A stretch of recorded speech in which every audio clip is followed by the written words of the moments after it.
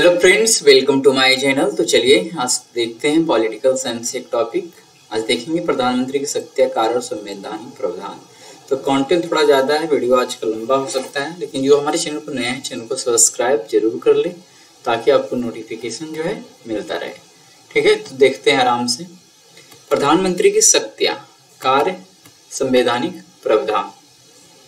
और इस आर्टिकल को आप जनरली डू पॉलिटी पे आके पढ़ सकते हैं और बेहतर तरीके से।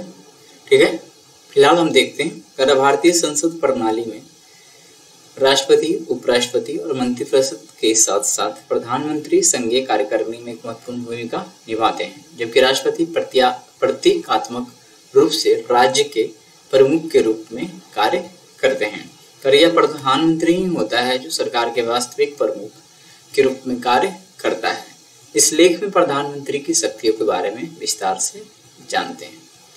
प्रधानमंत्री की शक्तियाँ, करा है संसदीय या अर्ध राष्ट्रपति प्रणाली में, ठीक है, संसदीय या अर्ध राष्ट्रपति प्रणाली में, क्योंकि संसदीय प्रणाली जहाँ होता है, वहाँ राष्ट्रपति भी होता है, औपचारिक रूप से, कर प्रधानमंत्री कार्यकारी शाखा का नेतृत्व करते हैं, मंत्रिपरिषद का नेतृत्व करते हैं, कर भारतीय संविधान के अनुच्छेद पचहत्तर के तहत राष्ट्रपति द्वारा नियुक्त प्रधानमंत्री मंत्रिपरिषद की देखरेख करते हैं। अनुच्छेद चौहत्तर एक के अनुसार राष्ट्रपति को सलाह देते हैं। यूपीएससी भारतीय राजनीति और शासन पाठ्यक्रम में शामिल प्रधानमंत्री मुख्य प्रवक्ता के रूप में कार्य करते हैं। तो ये कहीं से आपका एक्स्ट्रा हो गया, ठीक है ना? कर है और कैबिनेट बैठकों की अध्यक्षता करते हैं। सरकार की सरकारी शाखा के भीतर महत्वपूर्ण शक्तियों का प्रयोग करते हैं। आगे देखते हैं प्रधानमंत्री की शक्तियों के बारे में।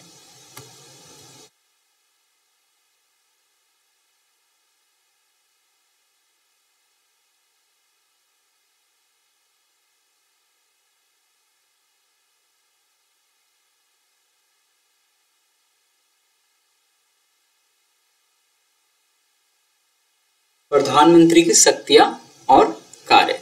और भारत का प्रधानमंत्री सरकार का मुखिया होता है और इसके कामकाज और अधिकार के लिए जिम्मेदार होता है। प्रधानमंत्री की शक्तियाँ और कार्यों में शामिल है। राष्ट्रपति को सलाह देना। अगर प्रधानमंत्री सरकार के काम को विभिन्न मंत्रालय और कार्यालय करने में राष्ट्रपति की मदद करता है। प्रधानमंत्री, राष्ट्रपति और कैबिनेट के बीच आधिकारिक कड़े के रूप में काम करता है। ठीक है? तो राष्ट्रपति को सलाह देना सबसे पहला काम होता है प्रधानमंत्री का। यहाँ बोल रहा है, प्रधानमंत्री सरकार के काम को विभिन्न मंत्रालयों और कार्यालयों में वितरित करने में राष्ट्रपति की मदद करता है। प्रधानमंत्री, राष्ट्रपति और कैबिनेट के बीच आधिकारिक कड़े रूप में काम करता है। मंत्रिमंडल की अध्यक्षता, प्रधानमंत्री मंत्रिमंडल की अध्यक्षता करता है तथा उसकी बैठकों की अध्यक्षता करता है।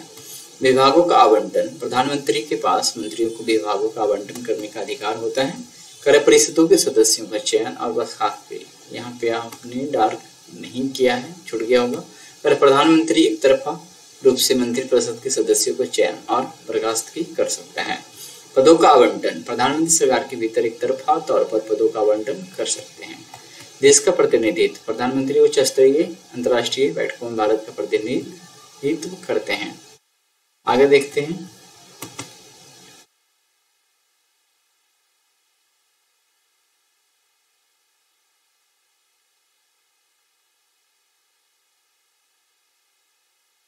प्रधानमंत्री के पास यह शक्ति भी है संधियों पर समर्थन करना, विदेशी सरकारों को मान्यता देना, राजदूतों स्थायी सचिव और अन्य अधिकारियों की नियुक्ति करना, आपातकाल की स्थिति घोषित करे, संपत्ति और प्रसंपत्ति को जब्त करना जब्त करना, या जब्त करना।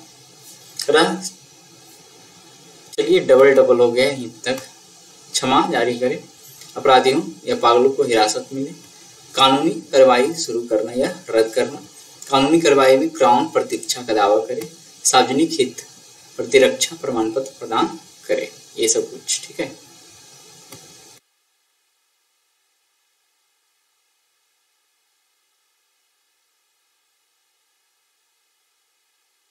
इस टेबल में कुछ राष्ट्रपति प्रधानमंत्री का कार्य है, क्योंकि पिछले बार तो हमने देखा था उपराष्ट्रपति, ना?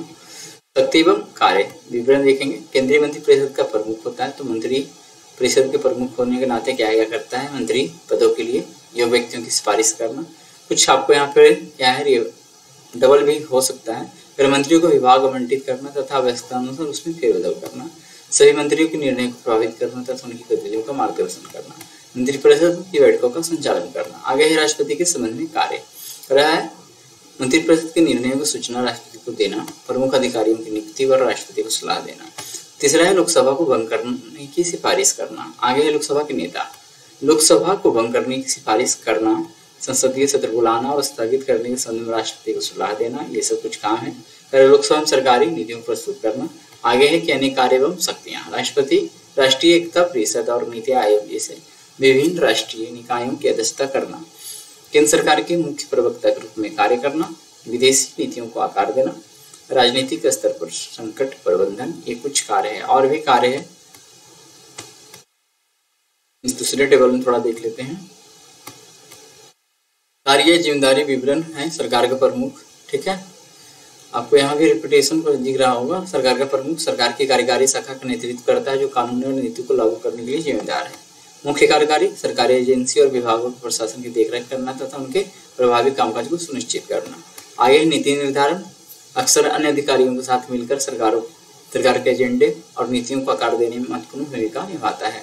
फिर है विधि, विधान नेता, विधानमंडल के साथ मिलकर कानून का मसौदा तैयार करना और उसे पारित करना, प्राय अनुनय और बातचीत के माध्यम से। आगे अंतर्राष्ट्रीय कूटनीति, वैश्विक मंच पर देश का प्रतिनिधित्व करना, कूटनीति का संचालन करना संधियों पर बातचीत करना और शिखर सम्मेलन में भाग लेना। संकट प्रबंधन, आपात स्थितियों या संकटों के दौरान कार्यभार संभालता है। चुनौतियों को समाधान करने और नागरिकों की सुरक्षा के लिए महत्वपूर्ण निर्णय लेता है। आर्थिक प्रबंधन, देश के भीतर आर्थिक विकास, स्थिरता और समृद्धि को बढ़ावा देने के लिए रणनीतियों का विकास और कार्यान्वयन करना। राष्ट्रीय सुरक्षा, राष्ट्र और उसके नागरिक की सुरक्षा और संरक्षण सुनिश्चित करते हुए रक्षा और सुरक्षा नीतियों की देखरेख करना। आगे है जनसंपर्क, सरकार की कार्रवाई और प्राथमिकताओं को समझाने के लिए जनता, मीडिया और अन्य हितधारकों के साथ संवाद करना। आगे है पार्टी नेता कर सत्तारूढ़ राजनीतिक दल का नेतृत्व करना, दलीय एकता बनाए रखना तथा चुनावी समर्थन हासिल करने के लिए काम करना। ये कुछ टर्म हो गए और देख लेते हैं।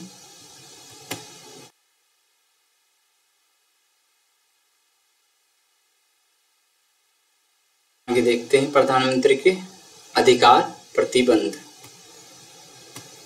कह रहा है, प्रधानमंत्री की शक्ति प्रतिबंध संविधान राजनीतिक व्यवस्था और सरकार के भीतर विभिन्न जाँच और संतुलन से प्रभावित होते हैं। कुछ सामान्य सीमाएँ इस प्रकार हैं, प्रधानमंत्री के लिए।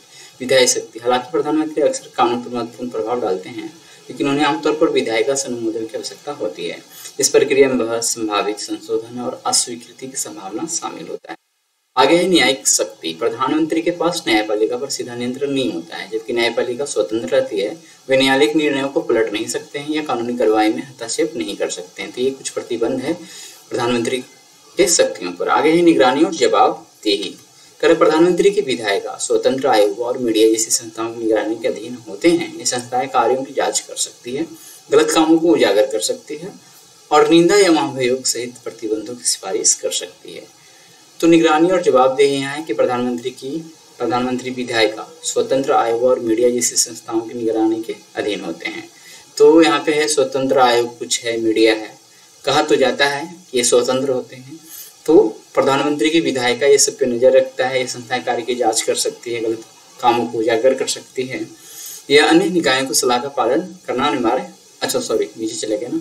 कर और निंदा या महाभियोग सहित प्रतिबंधों की सिफारिश कर सकती है। तो ये सब मीडिया से रिलेटेड कुछ है। संवैधानिक बाध्यताएँ कर संविधान प्रधानमंत्री की शक्तियों को परिभाषित करता है। उन कार्यों की रूपरेखा बताता है जो वे नहीं कर सकते। पातकाल के दौरान उनके अधिकारों को सीमित करता है या अन्य निकायों की सलाह का पालन करना अनिवार्य बनाता है। आगे है, पार्टी की आंतरिक गतिशीलता। कर प्रधानमंत्री को समर्थन बनाए रखने और सत्ता में बने रहने के लिए अपनी पार्टी के भीतर की राजनीति को समझना चाहिए। इसके लिए अक्सर समझौता, बातचीत और पार्टी लाइन का पालन करना पड़ता है।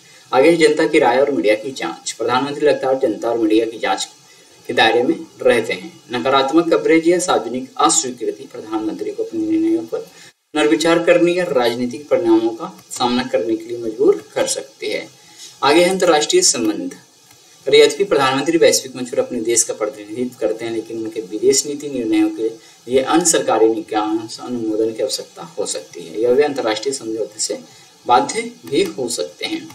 वित्तीय प्रतिबंध कड़ा प्रधानमंत्री का खर्च करने का अधिकार बजटीय निरीक्षण और विधायी निकायों से अनुमोदन के अधीन होता है। बिना किसी औचित्य और कानूनी प्रक्रियाओं का स्वतंत्र रूप से धन आवंटित नहीं कर सकते हैं। आगे है।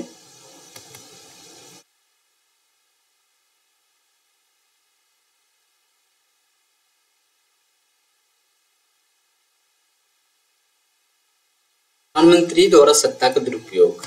आखिर क्या होता है? अपनी शक्ति पर प्रतिबंधों के बावजूद प्रधानमंत्री अभी भी अपने अधिकार का दुरुपयोग कर सकते हैं। दुरुपयोग के सामान्य रूपों में क्या क्या शामिल है? थोड़ा कार्य होना चाहिए। कानून के शासन की अनदेखी करना, कार्य व्यक्तिगत लाभ के लिए कानून को तोड़ना या तोड़ना। चलिए, कभी कहीं डबल हो गया है।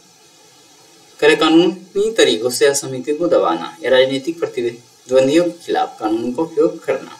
भ्रष्टाचार और आत्म संवर्धन रिश्वत लेना, सार्वजनिक धन का गबन करना, या व्यक्तिगत लाभ के लिए परिवार और दोस्तों को लाभ पहुंचाना, ये भ्रष्टाचार और आत्म संवर्धन हो सकता है प्रधानमंत्री का। आगे असहमति और अभिव्यक्ति की स्वतंत्रता का दमन करे विरोध प्रदर्शनों को रोकना, मीडिया आलोचनाओं को सेंसर करना, या जनमत को प्रभावित करने के लिए सूचना को नियंत्रित करना। आगे है लोकतांत्रिक संस्थाओं का क्षरण, कर न्यायिक स्वतंत्रता को कमज़ोर करना, जाँच और संतुलन को कमज़ोर करना या चुनावी प्रक्रियाओं में हस्तक्षेप करना, ये सब कुछ है सत्ता का दुरुपयोग। हिंसा और भेदभाव को उकसाना कारागिरीना को बढ़ावा देने के लिए बयानबाजी का उपयोग करना, हाशिए पर पड़े समूह को निशाना बनाना, या कथित दुश्मनों के खिलाफ हिंसा को प्रोत्साहित करना। आगे है शक्ति का विस्तार, कार्यकाल सीमा बढ़ाना, कार्यकारी शाखा के भीतर शक्ति को समेकित करना या सत्ता के परिवर्तन में बाधा डालना। आगे है विदेश नीति दुसाहस कार्यवाही पूर्ण सैन्य कार्रवाई में संलग्न होना। राष्ट्रीय सुरक्षा पर व्यक्तिगत हितों को प्राथमिकता देना या राजनयिक संबंधों को नुकसान नुकसान पहुंचाना। आगे है आपात स्थितियों का दुरुपयोग। सत्ता का विस्तार करने के लिए संकटों का फ़ायदा उठाना सुनिश्चित। सुरक्षा सुनिश्चित करने के आड़ में नागरिक स्वतंत्रता का उल्लंघन करना। तो ये कुछ हमने आज प्रधानमंत्री के अधिकार देखे, अधिकारों का दुरुपयोग देखे कुछ प्रतिबंध उनके, उसके अधिकारों पर देखे, ठीक है? तो चलिए मिलते हैं पॉलिटिकल साइंस से, अगले दिन। बट कल इकोनॉमिक्स है तो इकोनॉमिक्स में हो सकता है कल करंट अफेयर लाइन, लाने की कोशिश कर सकते हैं। क्योंकि अभी बजट लागू हुआ है तो उसका आर्थिक सर्वेक्षण और बजट में मुख्य पॉइंट क्या है?